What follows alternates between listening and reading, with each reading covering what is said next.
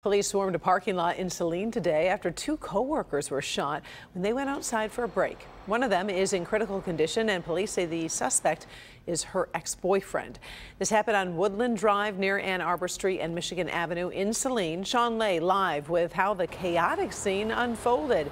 Shawn, walk us through uh, very chaotic and alarming for so many in Saline. This came in as an active shooter case to police. That's how they responded to it. Here's why.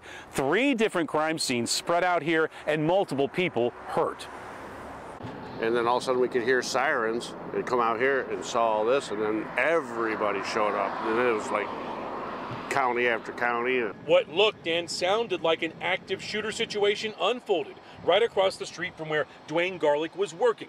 Police flooding this area of Woodland and Maple, responding to the UAW local here and the assisted living center right across the street.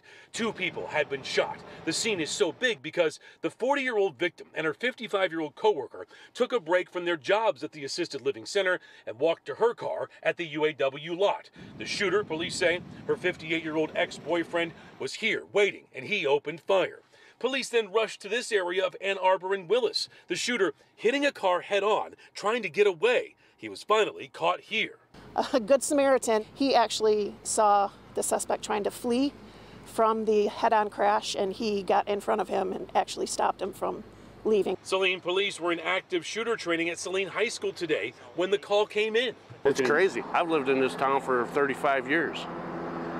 First time I've ever seen anything like that. And the crazy thing is they had active shooter training at the high school yesterday